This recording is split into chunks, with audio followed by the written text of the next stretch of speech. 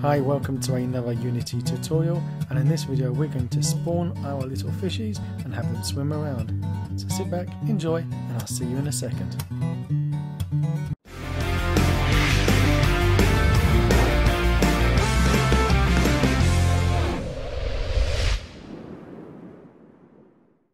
Okay, so we're back inside our Visual Studios or whatever you're using to edit your code and we're going to add our fish today. We're going to spawn fish and we're going to have them swim around. So we're going to add a couple of variables into our AI spawner that we were playing about with last time. Okay, so I've added in enable spawner. This is a bool. So I'm just going to have a little tick box on our, each of our AI groups. And then down here, I've added another header and I've called it main settings and I've got the private m underscore enable spawner that so exactly the same how we did the other ones. Yeah, we've got a public up here that is read only and it gets the value from a private that we serialize so we can edit in the inspector. Okay, now we're going to add a new method for our invoke repeating.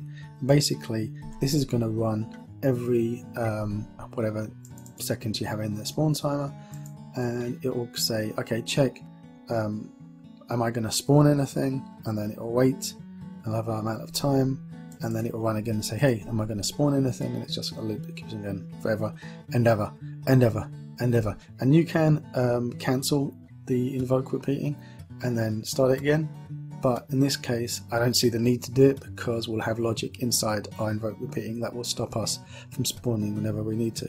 Alright, so in my start, I've put here invoke repeating and I'm calling my method spawn NPC See this bit here? This basically is saying when is my invoke repeating going to start. So even though the start is saying, hey, start this invoke repeating for spawn NPC, it's saying start half a second after I'm telling you to start. And then the spawn timer is saying every uh, whatever time you put in here, run this invoke repeating again. So this is like the wait until you start it again, and this is when you'll start it the first time. Okay, down here, I've got, this is the same name as here, otherwise, you know, I won't find it. So I've got my um, void spawn NPC, and it's a bit of code. Don't let it put you off. Don't be worried, it's actually quite easy. So once again, we're looping through our AI groups. So we get the count of how many we have, and then we're going to say um, I start at zero, and if i is less than the total number, and then we've got plus plus. So we're going to basically increment through our groups. Now you need to check, see remember at the top we added in this new, where are you hiding? We added in this bool for enable spawner. Now we're going to have a tick box to make sure that it is ticked, otherwise we won't spawn. And also we need to make sure that our group has a prefab to spawn. If it doesn't have a prefab to spawn, we'll get some errors. So it's saying that the bool is true and the prefab is not null.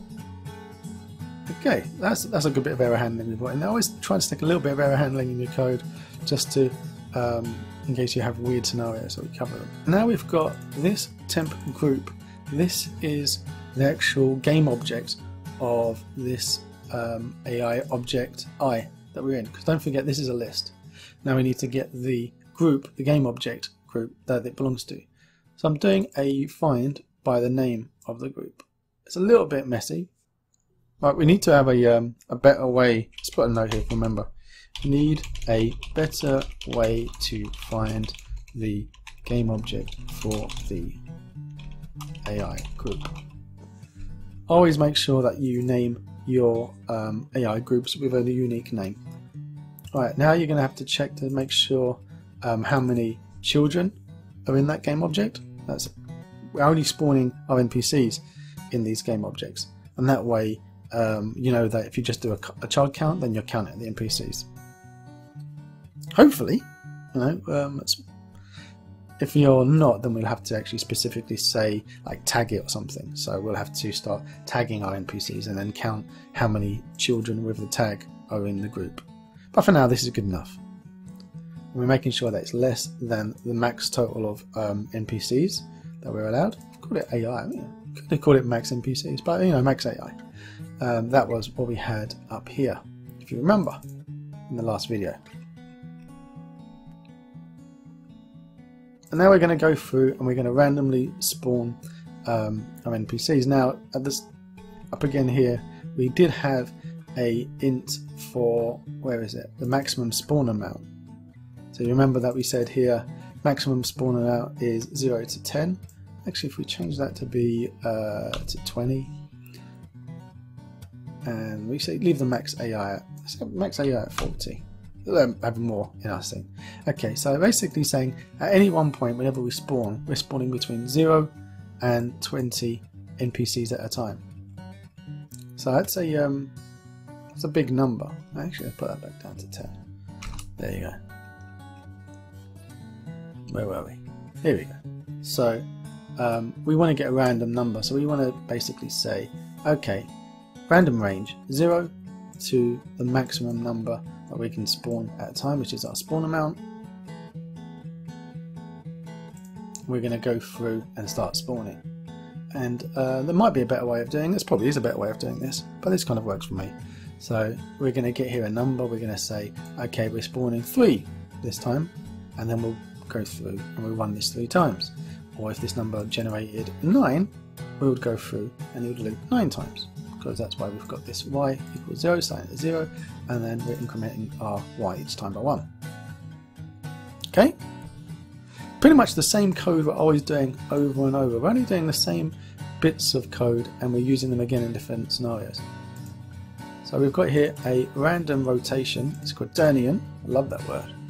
And I've got here um, the x, y, z, x, z, y, whatever order, I keep forgetting the order they have them in.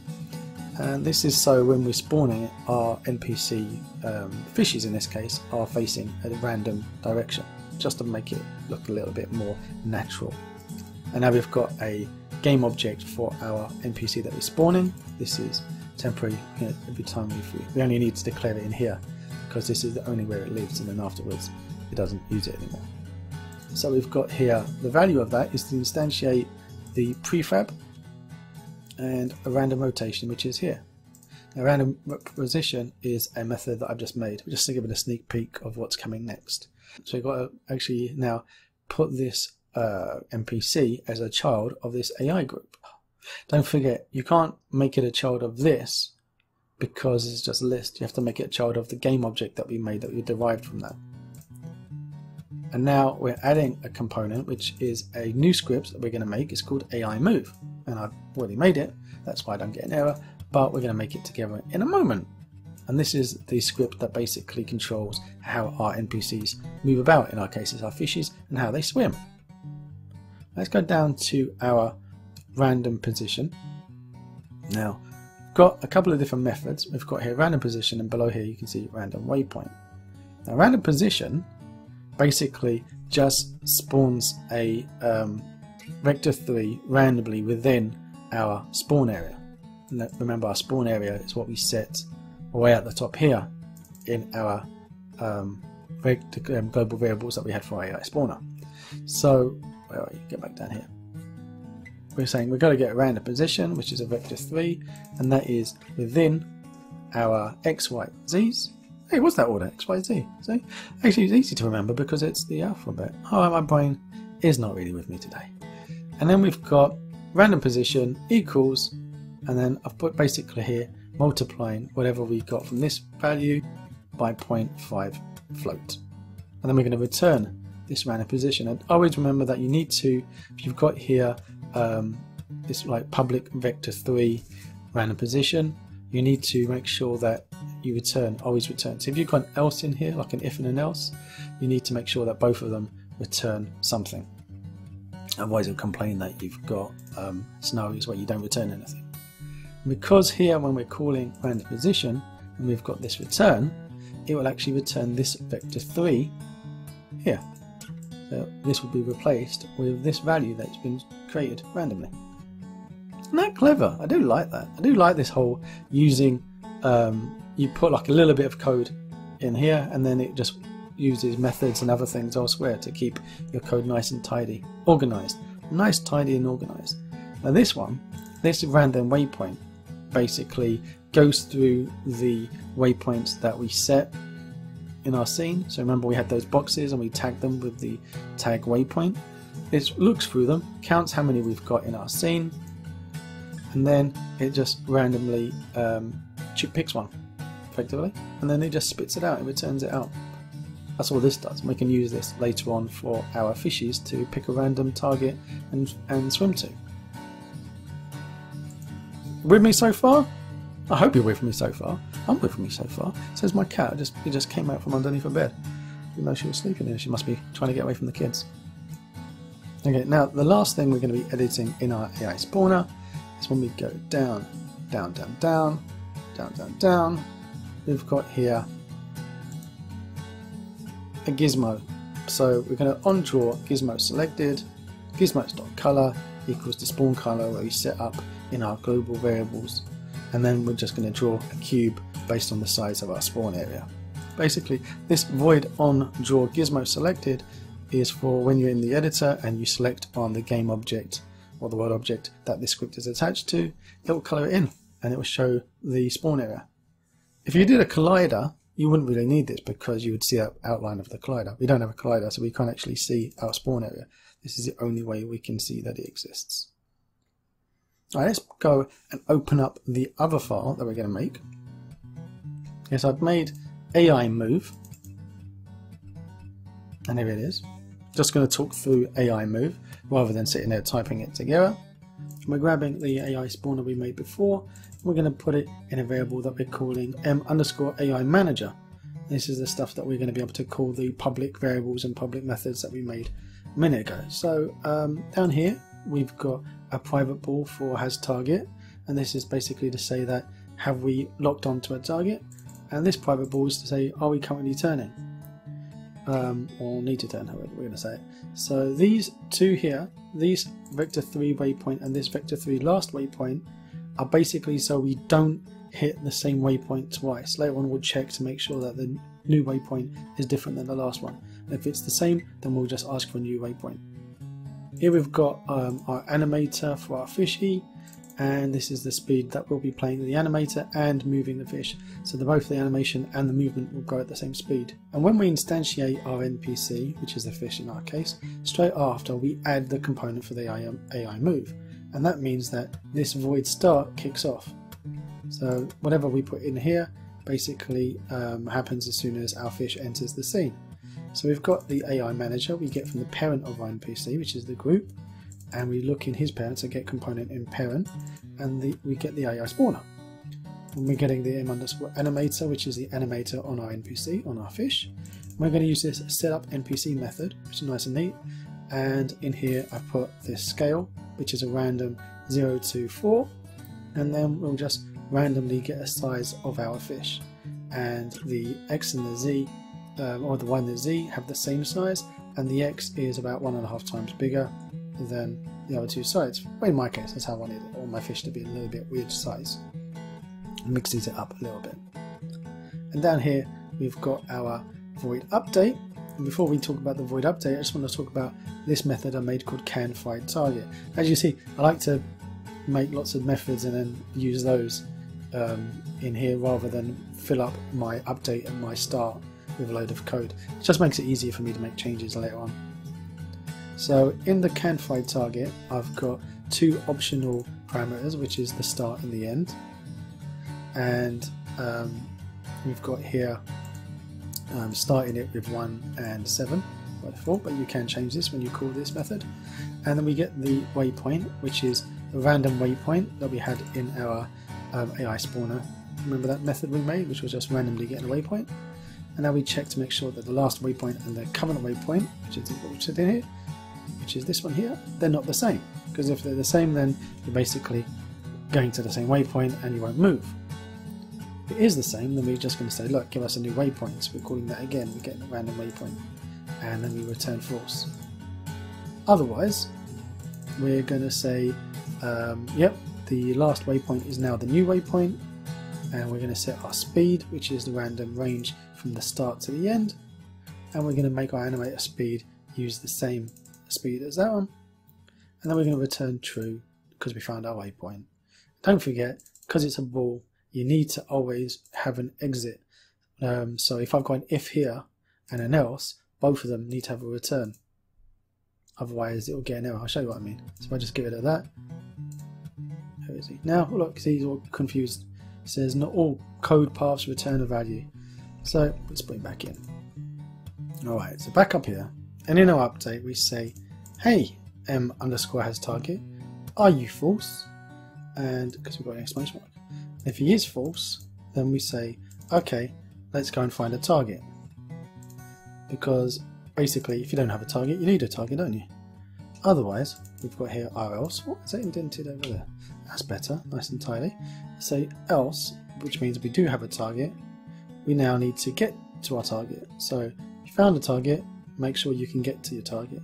So we need to rotate. So we rotate our NPC to face our target and I'll show you that down in a second. And then we do transform dot position, vector 3 move towards, um, this is our current position, we move towards our waypoint at the speed times delta time, or time dot delta time.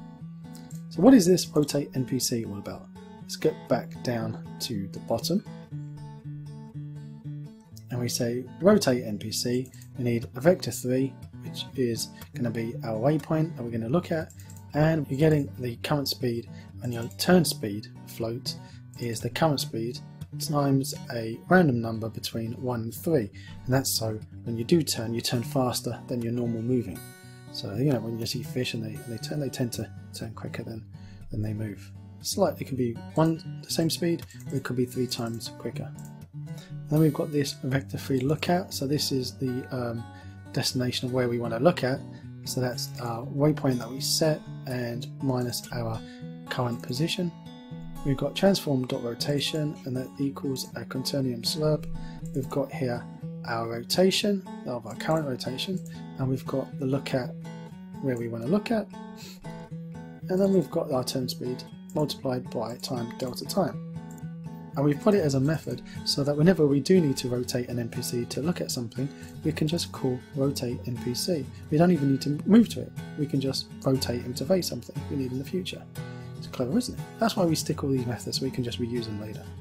Okay, and then we're back in here in our update and we're saying that if transform.position equals equals my waypoint, which means you've reached your waypoint, then you don't have a target anymore. Set that target to false, and then when it goes through the update again, then it will look and run through the whole thing again. I picked up this free carp from the asset store.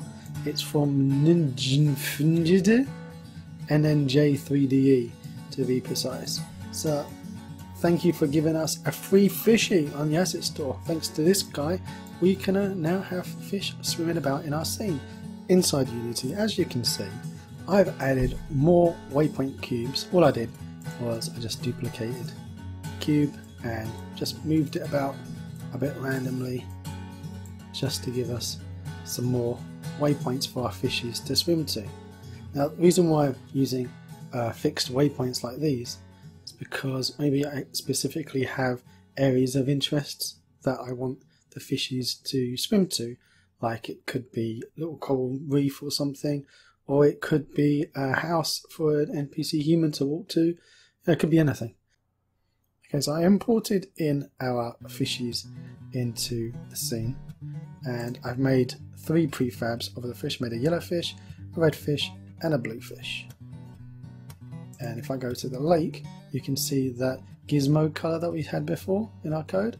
And here we've got um, the global stats, so me just hide this, minimize the waypoints one. We've got the global stats, and I've set the spawner, uh, the spawner. We set the spawner to five seconds, and the spawn area is 20 by 8 by 20. That's the size. Like I'll show you if I change this now to 30. See, it's bigger. So let's put it back to 20. And if we open up the AI object, you can see I've got three groups I want to spawn. And I've got the blue carp in one, and I've got it enable spawn if it's true randomized stats is not true, so that is set to maximum spawn of 10, and that's per spawn of cycle, it will spawn 10 maximum. And this max AI, so the most I can ever have from this group is 30 in a scene. And this max spawn, this spawn rate, we haven't actually used it yet in any code because we're using this global spawn timer. Uh, we can use that later, do some code for that one. And the red carp, we've got here red carp, and this one I've set to randomize stats. So enable spawners still ticked otherwise it won't actually spawn. And we've got randomized stats, so then these will get randomed. And the yellow carp, I've got here enable spawner, and I want to set it to not so many yellows, maybe 15 yellows, and 10 at a time as well. Okay, let's click play.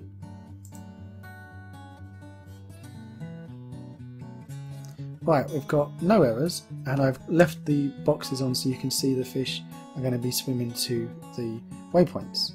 And as they get to a waypoint, it turns and it goes to another waypoint. Doesn't look very realistic, does it? It doesn't have that randomness that we come to expect from real life. And also, the fish are just bumping into each other and going through each other. Alright, let's add a collider um, logic in there, so a raycast.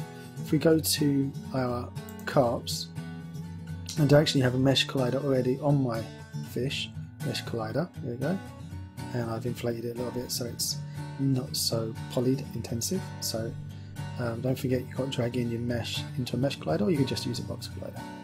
And let's go back into our code. Alright, back into that code, up at the top here, we want to add a couple of more privates. Let's add a collider, so m underscore collider, and a raycast here for m underscore hit. Down here in the setup NPC, let's add our m underscore collider, and to do that we're going to check to see if this object that we've got this script on has a collider, or if it doesn't, if it has a child that has a collider, we'll add that to this m underscore collider. Go. So we've got transform.get com, uh, transform.getComponent collider is not null and it's enabled. Set to true. Then we're going to just m underscore collider is that collider in the get component. Else if if component in children has a collider, so it's not null, and that collider is enabled, then we're going to get that component collider as the m underscore collider. That's what that does. Okay, and now we need to do some magic for actually what to happen once we collide, now that we have our colliders on our NPCs. And I'm not sure why we've got this raycast here up here. Actually, let's get rid of this because that's going to be inside the method that we're going to call in a minute. Okay, let's go down, make some space here in front of the can find target. And here's my method, it's collided NPC We've got a raycast hit, some physics to say when the front of our collider is hit, and we're going to ignore if um, it registers the collider itself or the tag for waypoint. So if it hits one of our waypoints that has um, the collider on it, then it will just basically return out of this uh, method and nothing will happen. Otherwise, we want it to return back saying that it has no target and that will mean that we will go back and we'll find a new target. Now this bit here, this random num and this range between 1 and 100 and if random num is less than 40 it's basically saying that not every time we collide we're going to set our target to false. Uh, so randomly we'll have some fish that when they do bump into each other they just carry on and some fish when they bump into something they will move. Gives a little bit more of a random randomness to it. I'll put a debug log down here just to prove that it does work. So we've got um, transform on the parent name because don't forget our mesh collider is on the child of the main fish and then we'll just put the position of what got hit in our debug log. So we'll see that in the console and we've run our little test. Alright, that's fun, isn't it? And now we need to grab this NPC collided NPC and put him in the start, uh, not in the start, in the update rather, and we'll put him just under here. Oops, there, like that. So let's put nice comments. Now check if collided. If yes, then we'll lose the target and look for a new waypoint.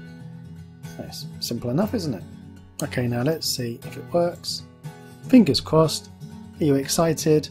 I'm excited. Here's our fishies swimming around. Remember, there's about a 40% chance that our fish, if they bump into each other, are actually going to move.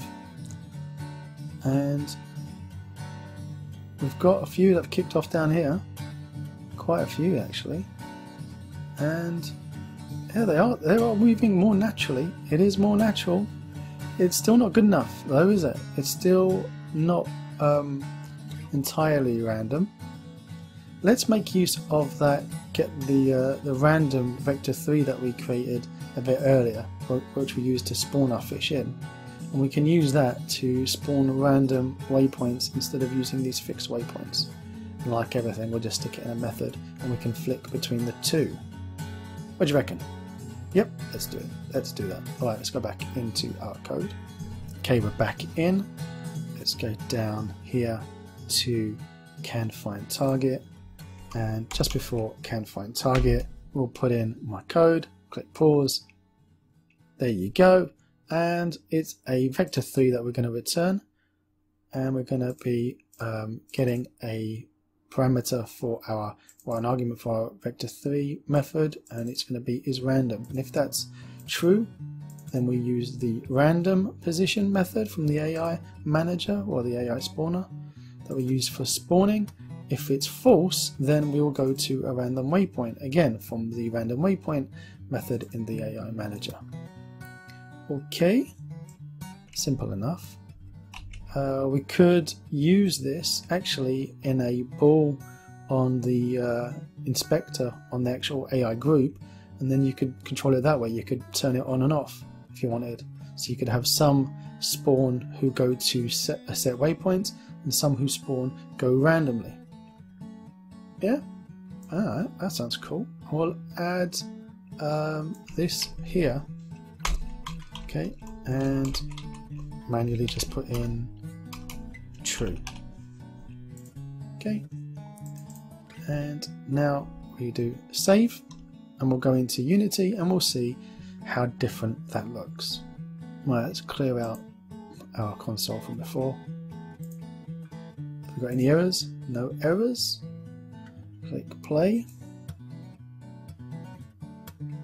Now you should be just going randomly and not to those boxes. And they do. Oh, there you go. And those boxes are just ignored now. They'll just swim through them, swim by them. Looks like they're not even there. Nice. Okay. Now we've got the big test. Let's hide those boxes. Let's call the kids in and see what they think.